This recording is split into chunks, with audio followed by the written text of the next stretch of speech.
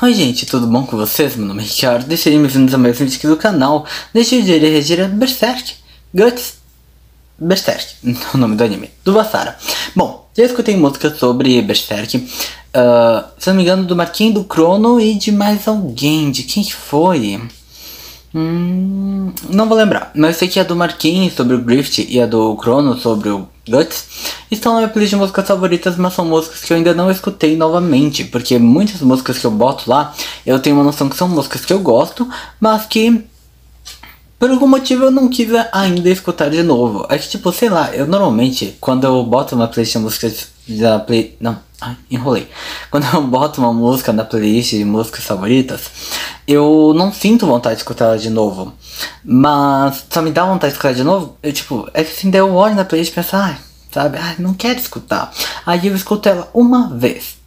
Deu. Aí já começo a ficar com ela na cabeça e não paro mais de escutar. São poucas que eu realmente, tipo, saio de vídeo já. Nossa, preciso escutar de novo, sabe? Então ainda não escutei ela de novo, uma hora tem que escutar. Uh, mas lembro assim um pouquinho sobre a história, acho que eu lembro mais sobre a história do Grift, porque eu escutei mais músicas sobre ele. E ele também pareceu mais interessante. Mas o Guts também, pelo que eu sei, é um personagem interessante, eu acho. Eu só acho que ainda não teve conclusão do mangá. Algumas vezes eu li algo sobre isso, não tenho certeza, posso estar errado. Só, só tomar um golinho. Enfim. Ai, gente, eu tô com uma afta horrível aqui. Eu acho que eu não deveria estar tá tomando tanto refri assim, né? Porque minha afta tá me doendo muito. Sei lá, vai que o refri piore, né? Mas tudo bem. Só pra comentar. Enfim. Aí. Uh, vamos ver, né? Estou curioso. Eu gostaria de poder relembrar a história do Guts. O título Berserk eu acho que acabou combinando bem. Visto que ele acaba sendo um Berserk não? Quer dizer, depende muito do que a gente considera como um berserk. Uma vez eu vi que, tipo, normalmente personagens são considerados berserk quando eles são aqueles que, sei lá, uh, gritam assim pra luta, são, tipo, extremamente sabe, ah, sabe, aparece uma luta e já estão indo para cima e sempre vão gritando e vão lutando e tal, e força bruta, sabe? Vi falarem que berserks são assim, mas não tenho certeza certeza total. Enfim, mas vamos ver, estou realmente curioso para poder lembrar a história do Guts. Então, veremos. Uh, eu achava até que eu não lembrava tanta coisa, mas tá me passando tipo um, muitas cenas assim que eu já vi em outras músicas na minha cabeça agora.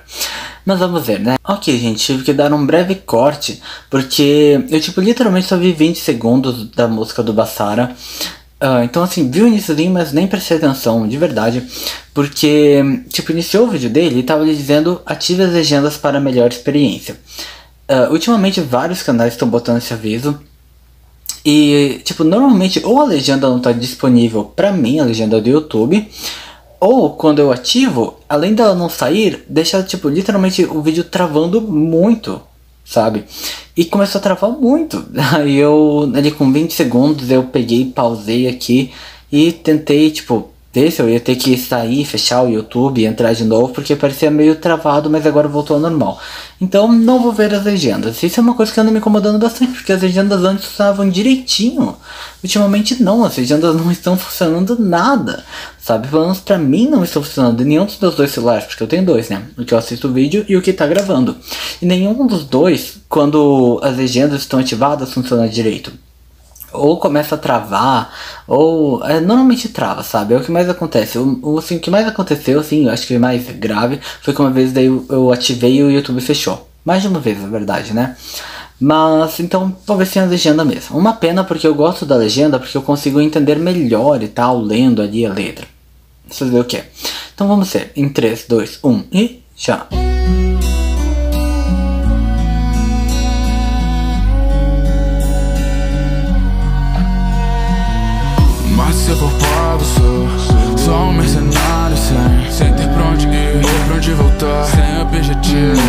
Motivo Você lembra mais Que ele não tinha um sonho, não era?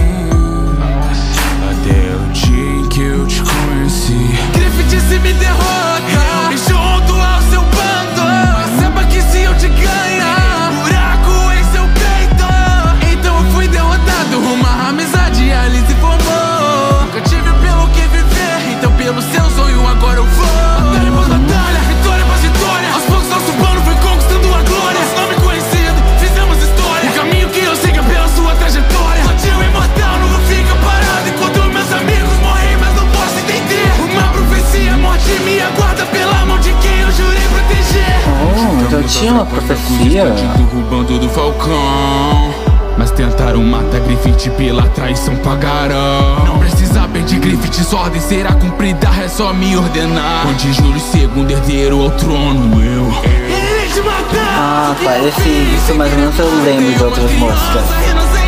Posso permitir que ambições no final tomem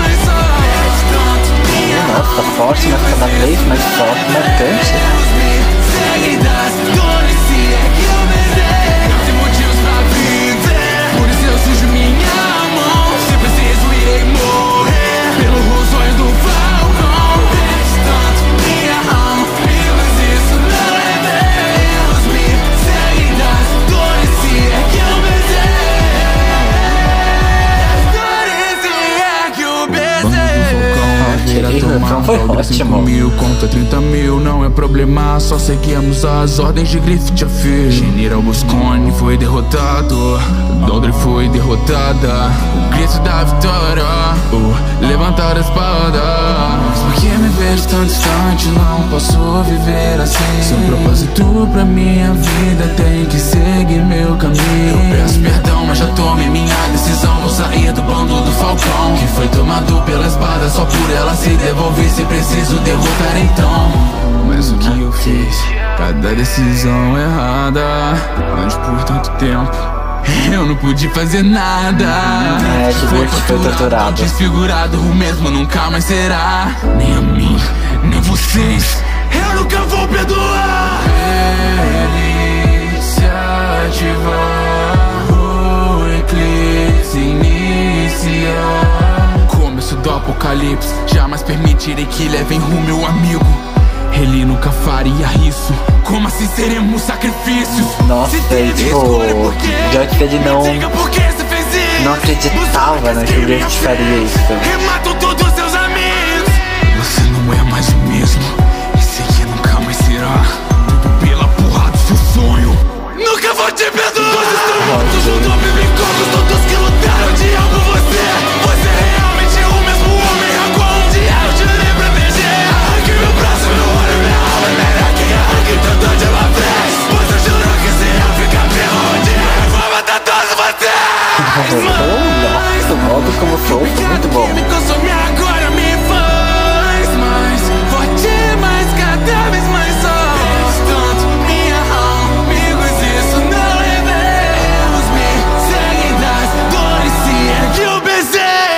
motivo pra viver, por isso eu sujo minha mão. Juro que irei morrer, até um dia matar o falcão.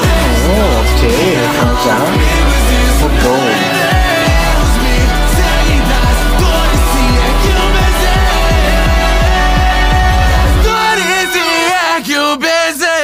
é Oh, oh, oh, nossa, esse refrão terminou de um modo excelente, eu diria.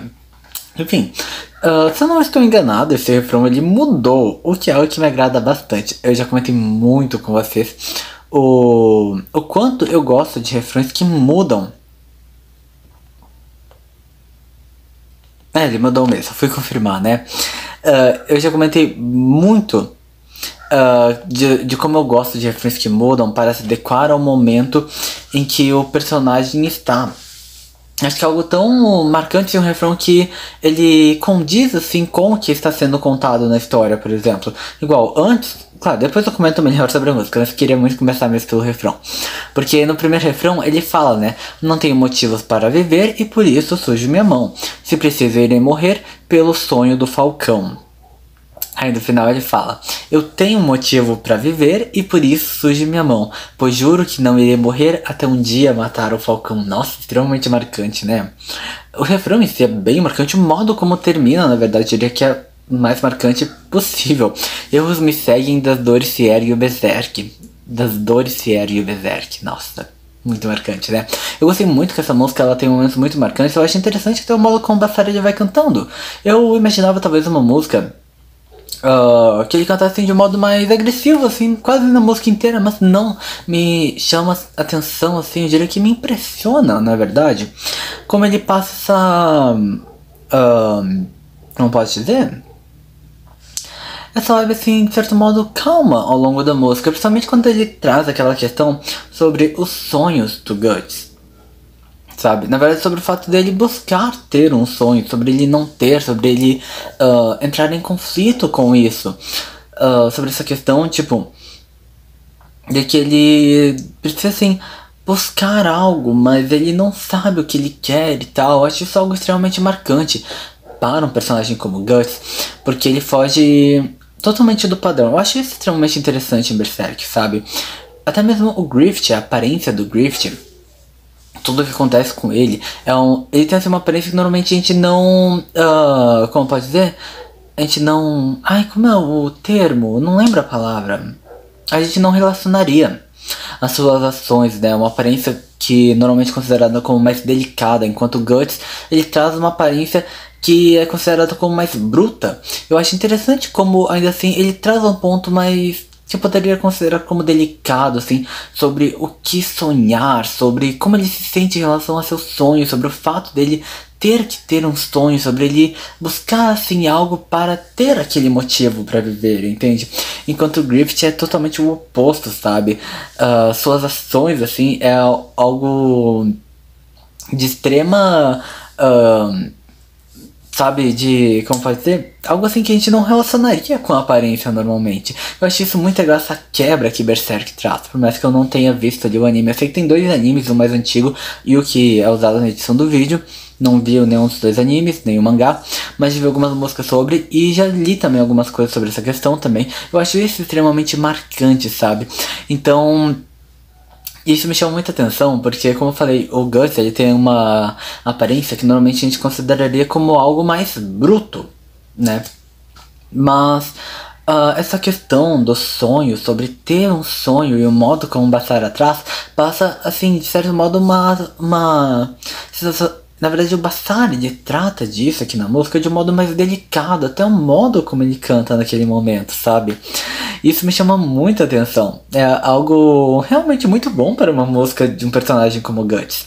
Enfim, deixa eu só tomar um golinho do meu refri.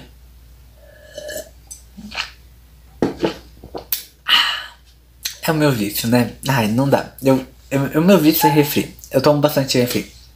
Deveria tomar menos, mas eu gosto muito de refri. Enfim. Uh, eu gostei ali do modo como ele foi trazendo a história do personagem, fui relembrando, eu até não lembrava essa questão do Guts é um ter sonho, podia relembrar aqui na, na música. Que era justamente um mercenário, sem de fato um objetivo, né? Eu lembro que tinha alguma coisa sobre o nascimento dele, acho que a mãe dele estava morta ou algo assim, não era?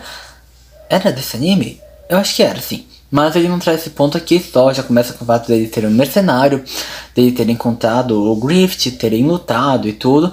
E o Grift vencido, ele se torna um membro ali do grupo, né? O Falcão. Era Falcão ou alguma coisa, não era? Acho que não era só Falcão. Enfim, não lembro. Mas ele se tornou ali um membro e faria basicamente tudo pelo Grift, seu melhor amigo, né? E claro, o resto ali dos outros também seus amigos. Mas chega determinado momento que ele assim fica com aquela falta de um objetivo, porque ele não estava vivendo por ele, ele estava vivendo pelo Grift, pelos objetivos do Grift. Eu acho muito interessante essa questão de que o personagem, que o anime traz, na verdade, de que ele aparentemente tinha aparentemente, né, tinha encontrado um objetivo que seria viver pelo Grift, mas por mais que o tempo passe, o personagem acaba percebendo que ele ainda sente aquela falta de ter de fato algo, sabe? E a gente pode ver aqui, né, que o tempo passa, ele faz ali as coisas que o Griffith uh, tinha sim suas missões, por exemplo, ele vai vivendo pelos sonhos do Griffith, mas ele ainda sente a falta de ter o seu próprio sonho, de ter um motivo para ele viver, que não seja pelos outros, sim por ele mesmo. Eu acho isso extremamente marcante. Ai, eu tenho muita vontade de ler Berserk. Eu tenho muita vontade mesmo. Uh, nossa, eu acho muito interessante é que tanto Guts quanto Griffith me chamam muita atenção. São personagens assim que eu acho que eu gostaria muito de acompanhar os dois assim e tal.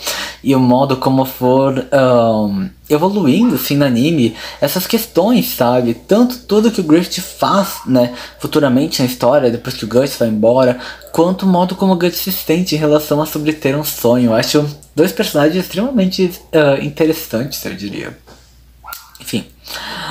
um, aí tem entrado aquela questão ali sobre ele ter que ir embora e luta contra o Griffith acaba vencendo. Ele fica muito tempo fora e o Griffith faz toda uma merda tremenda que nós já vimos em outras músicas do Griffith. Quando o Guts volta, ele justamente se depara com o Griffith uh, destruído, diria, sabe? Literalmente destruído. Bem destruído, né? E detalhe, não é sobre a música, mas o cachorro do vizinho tá latindo, mas não, não vou enrolar muito, então não vou cortar, tá? E tá ai, esse, o cachorrinho deve estar tá pegando. É um, um latido bem fininho, ai, insuportável. Ele late por muito tempo. Gente, ele literalmente late por horas, horas, horas, horas. Eu odeio tanto, por isso que eu não vou cortar, porque eu sei que eu vou cortar, vou ficar aqui esperando muito tempo, ele não vai parar. Ou com sorte ele pararia. Como eu acho que parou. É sempre assim, eu tento ignorar, mas quando resolvo comentar com vocês que eu não vou cortar, eles param. Enfim. Uh, aí eu acho interessante como justamente o Guts ele enxerga como se os outros fossem culpados. Ele. Não sei se ele sabia o que o Griffith tinha feito naquele momento, quando ele acha o Griffith novamente. Mas ele ainda assim traz aquela questão sobre poder uh, vingá-lo. Depois sim, né? Tem todo aquele aquela espécie de ritual, eu acho. Não sei exatamente como, da onde surge, né? Uh, como o Griffith consegue lá ficar extremamente poderoso, dar todo o sacrifício e tudo. Mas eu acho interessante como o Guts assim ele realmente acredita que o Griffith seja inocente, de que ele seja uma pessoa que ele uh, não está assim. Não é como se ele realmente quisesse aquilo e tal. O que prova que. E o que prova, né, mais uma vez, esse ponto que sempre chama muita atenção da questão da aparência. Como eu falei, enquanto o Griffith passa uma coisa mais delicada e o Guts algo mais bruto, as ações dos dois estão, nossa, muito, muito diferentes da aparência deles que eles passam, né? O Guts, ele tem essa questão assim, até de, do modo como ele se sente em relação ao Griffith, sobre ele ser inocente ou não, sobre ele ter feito algo errado ou não, com certa inocência, eu diria. O que seria um traço que a gente não, obviamente, não consideraria como bruto, mas como algo delicado. Claro, não delicado de modo literal, tá?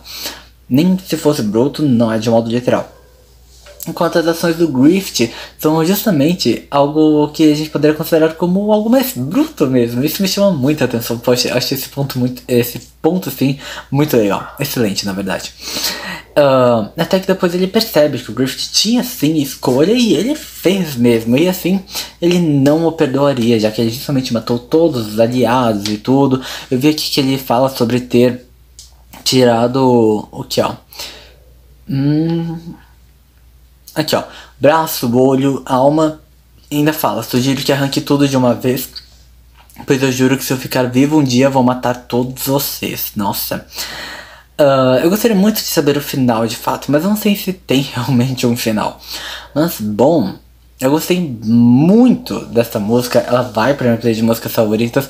Sabe, eu não tava assim, tipo, não vou dizer assim que eu não queria escutar essa música, eu queria. Mas é que eu não tava lembrando muita, muita coisa assim dessa do Griffith. Agora depois de ter visto a do Gus. Agora depois de ter visto a música, Aí sim, veio tudo na cabeça, tudo que eu já sabia antes.